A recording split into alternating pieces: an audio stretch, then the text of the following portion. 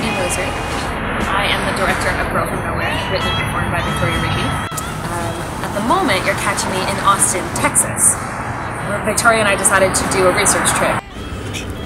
Hello, this is my first day in Texas. Um, I'm currently in Del Rio, which is right on the Mexican border. I've driven from Austin this morning, which was about 200 miles, or maybe more, and I'm only halfway to where I'm going tonight. Been absolutely incredible. Victoria was here on her own for a few days doing a road trip through western Texas, the kind of backwater, nearly empty expanse of land um, where our story begins. Uh, our lead character, Jeannie, comes from a small town in West Texas. I'm in the Amistad National Recreation area. It's a reservoir. It's just really, really beautiful. We're very close to the Mexican border and it's boiling hot. It must be about 35 degrees. Jeannie has this incredibly active, energetic personality, and Victoria wanted to see what it was like to feel that energy in a place that was really contained, um, very conservative, and empty of people. I've come to Toyah, which is a tiny town about 15 miles outside Pecos, which is where I'm staying. This is what used to be Toyah High School. Uh, it's known as almost a ghost town because there's hardly anything here.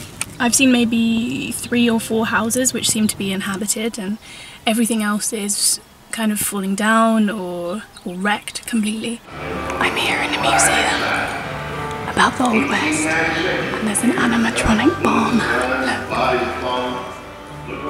It's 560 miles from Houston, which is where I'm going today.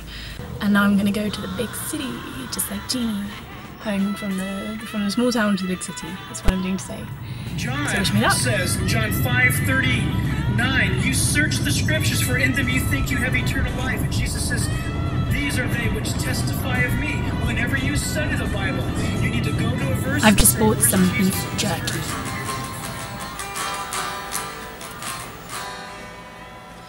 Busted flag in Baton Rouge. Waiting It was amazing was driving into Houston and seeing these gigantic skyscrapers and just the size of the city compared to Pecos, which was so tiny and just surrounded by fields. And it was amazing. It kind of made me feel, I don't know, maybe how Jeannie must have felt to come from such a tiny, tiny place. New Orleans.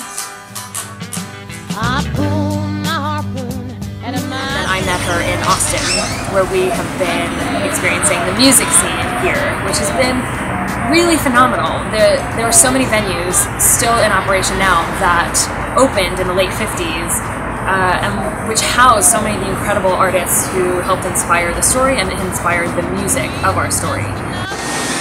We are here at the legendary Red Threadgills. This was originally a filling station in the 1930s, opened by Kenneth Threadgill, who was a folk musician. And it was a gas station where a lot of people, musicians and others, would travel through on their way into center of town. We're sort of on the outskirts of Austin right now. Uh, and so many musicians started coming into Austin that they would stop at this filling station and they would chat and they would have some beers and they would play some music and it became this hub for that part of the music world. This is the Gulf Coast Museum. We've been there in 10 minutes before the end. This is the Janis Joplin display. Um, I'm amazed by this picture, which is when Janis went to secondary college. And she did her hair that.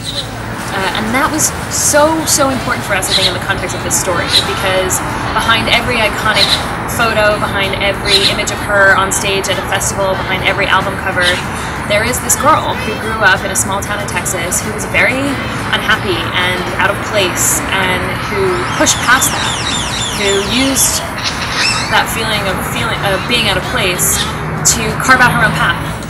And then underneath another around you can see what she normally like.